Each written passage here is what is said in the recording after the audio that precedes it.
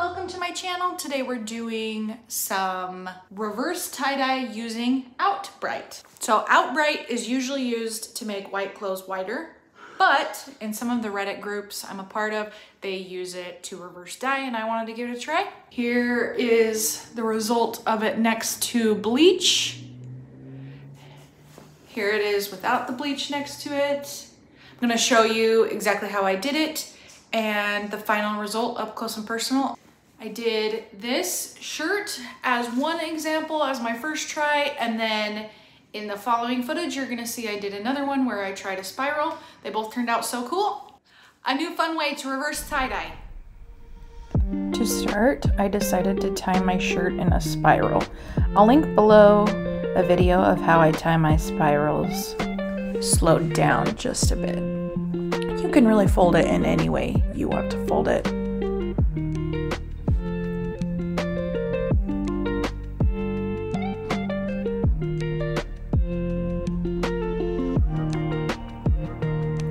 Next, I added about three tablespoons of White Brite to a hot bowl of water and stirred, and then I put a damp shirt in the pot.